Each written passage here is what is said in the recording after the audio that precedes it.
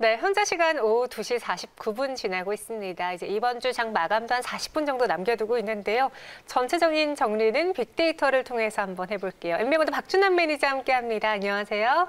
네, 안녕하세요. 반갑습니다. 네, 반갑습니다. 매니저님 제가 모르고 있었는데 코리아 서킷을 어디서 많이 들어봤지 했더니 저희가 이 시간에 소개를 드렸더라고요. 네. 매수하고 선 100% 가까운 수익 나고 있고 요즘 계속 52주 신고가 경신하는 종목인데요. 어떻게 봐야 될지 리뷰 들어볼게요. 요즘 뭐 DKT부터 시작해서 계속 터트리고 있습니다. 네, 앞으로도 계속 제가 터트릴 테니까요. 제가 말씀드렸죠. 8월 달, 8월 5일 날 어, 경기 부양을 위해서 세계 대기업들이 스마트폰 폴더블 폴더폰을 내놓는다. 네, 말씀드렸고요. 그게 적중했습니다. 항시 제가 말씀드리지만 나무보다는 숲을 봐라. 이렇게 보시면 노다지를 캘 수 있습니다. 코리아 서킷 한번 보겠습니다. 코리아 서킷가 저희가 방송에서 나온 지 한 4월 23일이죠. 여기입니다. 엄청 먼 이쪽 구간이네요. 진짜 우리가 거의 바닥에서 잡았다고 보시면 돼요. 이 8,000원대인데 이게 8,000원대입니다. 코리아 서킷가. 보시면 어떻습니까? 제가 제가 신고가 넘고 제가 급배야 시킨다고 그랬죠. 오늘. 지금 계속적으로 가고 있습니다. 중요한 게 뭐냐면 코리아 서킷은 차트 보고 매매하는 종목이 아닙니다. 왜냐하면 코리아 서킷의 50% 정도 가지고 있는 인터플렉스 그 회사가 지금 상승을 했는데 그게 시가총액이 3,500억대요. 근데 코리아 서킷가 지금 시가총액이 3,500억이란 말이에요. 자회사 하나가 3,500억입니다. 그죠? 그러니까 지금 PBR, PBR 1.2인데 0.6으로 보셔도, 보셔도 돼요. 이 가격대에서 2만원대까지는 큰 무리 없으면 계속적으로 갈 겁니다. 그렇게 말씀드리고요. 중기적으로 말씀드릴게요. 코리아 서킷도 보겠습니다. 어떻습니까? 과거의 영광을 이제 재현하겠죠. 그죠? 오랫동안 이게 2파동입니다. 2파동을 거쳐서 상승하고 있는데 다시 역시나 마찬가지죠. 1파동, 2파동이죠. 맞습니다. 코로나19로 인해서 엄청나게 우리에게 저가 메리트, 메리트를 준 종목이죠. 2만원까지는 매매, 보유, 조정시 매수 가능합니다. 지금 벌써 99% 수익이네요. 네, 여기 보시면 되겠고요. 코리아 서킷의 자회사 보겠습니다. 자회사 하나 봐야 되겠죠? 예, 영풍 그룹의 한금알을 낳는 기업들입니다. 그죠? 인터플렉스로 보겠습니다. 오늘 드디어 인터플렉스가 14,000원, 15,000원 한번 터치했는데 어떻습니까? 참 예술이죠. 이 그림을 보시게 되면요. 이게 가격을 보면요. 이게 주식 차트라는 게 우리 인생사하고 똑같으니까 밑에서 바닥에서 죽지 않으면 다시 한번 전성기를 맞이하는 거예요. 다시 한번 어떻습니까? 1바닥, 2바닥, 3바닥인데 이번에 8월 5일까지 스마트폰이 지금 시장이 주도주예요. TKT가 갭상한가로 나온 거 보셨죠? 그렇게 보시면 되겠고 인터플렉스 제가 말씀드렸습니다. 강력한 흑자 전환이다. 지금 이것도 1.5밖에 안 됩니다. PBR이. 그죠? 20대 그룹, 영풍그룹의 자회사들, 계열사들, 코리아 서킷 인터플렉스 우리가 끝까지 추적하자. 뭐처럼 DKT처럼. 그리고 저희가 스마트폰 관련해서 하나 더 가지고 나왔죠. 이제 인터플렉스하고 코리아 세킷들은 신고가를 가고 있으니까 우리가 에스폴리텍이라고 제가 가지고 나왔을 겁니다. 그죠? 에스폴리텍을 한번 보도록 하겠습니다. 예, 에스폴리텍 한번 월봉을 한번 보도록 하겠습니다. 어떻습니까? 이것도 이제 스마트폰 관련 핵심 부분인데 마치 2만 원대 있는 종목이 마찬가지예요. 오랜 동안 가격 조정과 깨끗해진단 말이에요. 주가가. 이 정도 되면 주식이 깨끗해집니다. 내물대가 없다는 거죠. 마치 코브라가 신고가를 뚫고 나서 머리를 지켜드는 모습이죠. 이게 바로 주도지의 신주도지의 탄생입니다. 그렇게 보시면 되겠고요. 엑스폴리트도 이번 2분기 때 사상 최대 실적이 나올 겁니다. 이게 코로나19 관련해서 어, 바이펜스라는 그것도 수출하는 거니까요. 눈여겨서 잘 보시면 될 것 같고요. 이것도 지금 4% 수익인데 아마 신고가니까 많을 때까지는 여러분들이 관심 잘 가져보시고 예, 숨은 보석이니까 예, 이렇게 한번 지켜보시기 바랍니다. 네. 리뷰해 봤고요. 그럼 오늘 시장으로 돌아와서 빅데이터가 포착한 키워드를 한번 살펴볼게요. 어떤 종목들이, 어떤 기업들이 또 어떤 키워드가 집계됐을까요? 네, 오늘 키워드는 딱 두 가지입니다. 제가 말씀드렸죠. 3개월 내내 말씀드렸습니다. 밥상에 코로나 바이오는 있어야 된다. 그죠? 바이오 지식이 안 가지고 있다고 해서 바이오가 끝났다. 그 너무 말도 안 되는 소리죠. 코로나 바이오는 밥상에 김치 같은 존재다. 그러면 서로 김치만 먹다 보니까 이제 질리죠. 그러니까 스마트폰이 나왔습니다. 하반기 때 경기 부양을 위해서. 코로나 바이오 스마트폰이 오늘 핵심 키워드인데요. 앞으로 자주자주 이게 키워드가 나올 거예요. 시장을 주도하고 있으니까. 그래 보시면 되겠고요. 아까 말씀드린 것처럼 스마트폰, 코리아 서킷, 인터플렉스, 서울 인텔, 뭐 에스폴리텍 같은 회사들 보시면 되겠고요. 수자원 관련해서 종목도 움직였네요. 엘크론, 한텍, 유버텍. 또 움직임이 있었고 보게 되면 대선 관련 종목도 서서히 움직이고 있습니다. 한두 종목씩 형제 엘리트 뭐 어제 이재명 기사의 어, 무죄로 끝난 어, 그런 효과도 있었죠. 바이오는 두 개로 보겠습니다. 신약 바이오하고 제약 바이오. 그죠? 강한 신약 바이오 같은 경우에는 일학약품 오늘 코로나 종- 종목들이 움직이고 있죠. 예? 뭐 진양제약이나 국제약품 그런 들 한번 보시면 될 것 같습니다.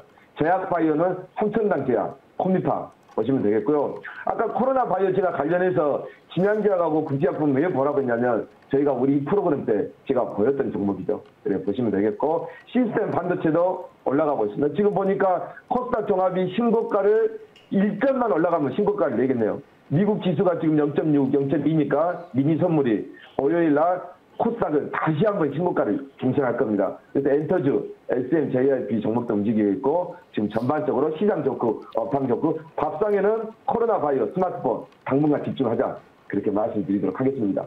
네, 알겠습니다. 검색 키워드 봤고요. 그럼 이 키워드 안에서 뭐 바이오, 스마트폰, 엔터 이렇게 좀 집중되는 것 같은데 어떤 종목으로 연결 지어볼까요? 네, 오늘은 지금 아마존이 신고가죠. 네. 뭐 아마존을 모르신 분들은 없을 거예요. 아마존이 뭐냐면 전자상거래 그냥 뭐 배달, 택배 그렇게 보시면 됩니다. 그죠? 뭐든지 그냥 다 배달하고 먹어치운다. 그렇게 보시면 되겠는데 거기에 관련된 종목 언택트입니다. 미국이 아마존이 신고가를 갔으니까 언택트 움직였죠. 7월 17일 관련 종목 네. 공개하도록 하겠습니다. 종목명은요 동방이고요. 코드명은 004140입니다. 관련 키워드 보겠습니다. 아마존 신고가 궁금하죠? 아마존 신고가인데 왜 연관이 있는 건지 그죠? 아마존 하면 한국에 뭐가 있다? 쿠팡 있지 않습니까? 근데 쿠팡은 뭐예요? 아직 상장이 안 돼 있잖아요. 그래서 쿠팡에다가 모든 물류를 배달하는 동방을 제가 준비해봤습니다. 자회사 매각 어, 전남 광양시의 자회사를 매각이면 얼마 정도 매각을 했는지 들여다보도록 하겠습니다. 자산가치 우량한 건물, 쿠팡 물류배달, 동방 전국의 네트워크 물류센터 가 검색이 됐네요. 들어가서 한번 보겠습니다. 일단 이 회사는 2분기 실적이 대박이 예상이 됩니다. 그죠? 현재 지금 PBR이 0.3부상으로 0.5 정도 됩니다. 그죠? 그러니까 이 가격대에서 두 배 정도는 갈 수 있다는 거죠. 2분기 실적이 상당히 기대가 되는데 아마존의 주가가 가는 이유라고 설명하시면 돼요. 그죠? 왜 가서 직접 오프라인보다는 비대면으로 택배, 그죠? 택배, 이 언택트 그 관련주입니다. 그래서 아마존이 급등했는데 쿠팡에 있는 모든 물류를 전부 배달하고 있어요. 그러면 전국에 물류센터가 잘 구축이 되어 있어야 되겠죠. 그래 보시면 되겠고요. 한번 들어가서 보겠습니다. 동방 성장하는 기업인데 2017년에 4천억, 2018년에 5천억 매출액입니다. 2019년에 6천억. 올해는 얼마를 예상할까요? 7천억에서 8천억 정도 예상이 합니다. 실적이 1분기 때, 2분기 때, 1분기 때 실적이 잘 나오고 2분기 때는 더 많이 나옵니다. 연간 20% 꾸준한 매출 신장, 연간 30% 영업이익 성장. 2020년은 흑자 전환의 해. 그렇게 보시면 될 것 같고요. 어, 동방이 이번에 좀일좀 하나 냈네요. 광양이 있죠. 광양 선박. 이거 매각을 했습니다. 매각한 자금이 얼마 정도냐면 576억. 그죠? 지금 시청이 얼마입니까? 동방이 지금 현재 670억이에요. 근데 광양 선박 이게 판 게 7월 30일 576억이란 말이에요. 그죠? 이 실탄. 아주 지금 또 좋은 데 쓰겠죠. 재무구조가 확 바뀌겠죠. 이렇게 보시면 되겠고, 동방물류센터 제가 아까 말씀드렸죠. 쿠팡을 다 배달하려면 전국에 땅이 너무너무 많아요.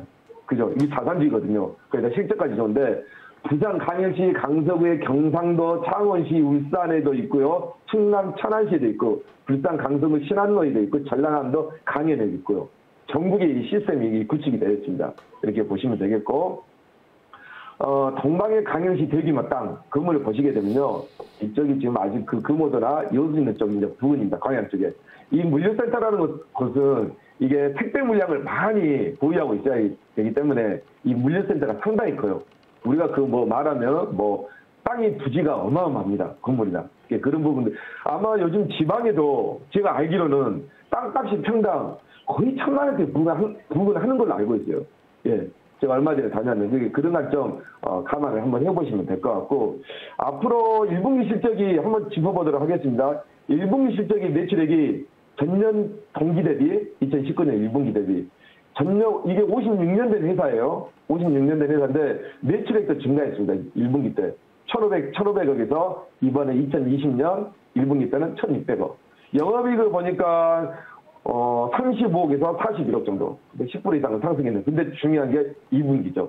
순이익 보니까요, 거의 1억에서 한 3억 정도, 한 두 배 정도 어, 상승을 했다. 이렇게 보시면 되겠고, 앞으로 쿠팡이 이제 좀 봐야 될 거, 이게 지금 현재 65년에 설립된 회사인데, 한만민 물류 거점을 통한 네트워크 시스템인데, 여기 본사가 또 한진 건물 있죠.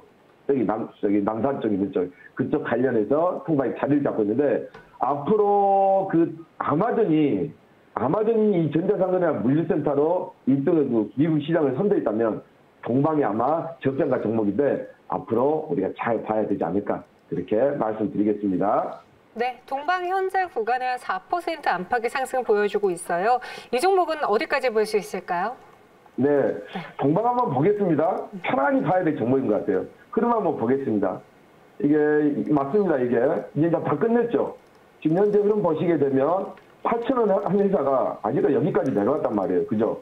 2천 원까지 내려왔는데 어 이제 뭐 가장 지금 바닥이라고 보시면 돼요. 뭐 내려갈 자리가 없습니다. 아, 내려 더 이상 내려갈 자리가 전혀 없다. 보시면 되고 거래량이 이번에 엄청나게 터졌죠. 그게 무슨 뜻입니까? 매물대를 완전하게 깨끗하게 해소하고 올라가겠다. 그렇게 신호로 보시면 돼요. 워낙 저가인 종목이니까 편하게 보시면 될 것 같습니다. 목표가는요, 좀 짧- 짧게 잡아드릴게요. 제가 나중에 어, 목표가를 높이더라도. 목표가는, 음, 일봉으로 보시면 되겠고요. 2,500원 정도. 2,500원이면 여기 저- 단기 정고점이네요. 그죠? 선저가는 1,500원인데, 주가는 어떻습니까? 항상 크게 봐야 됩니다. 네, 크게 보셔야, 아, 이 주가의 흐름이 어디로 갈지 정확하게 알 수 있다는 거죠. 네. 네, 목표 주가 2,500원, 손절가 1,500원으로 동방 제시해 드렸어요. 이외에 또 유튜브를 통해서 박준남 매니저가 다양한 이야기 전하고 있으니까요. 우리 시청자분들 챙겨 보시고요. 저희는 여기서 인사드릴게요. 고맙습니다. 네, 감사합니다.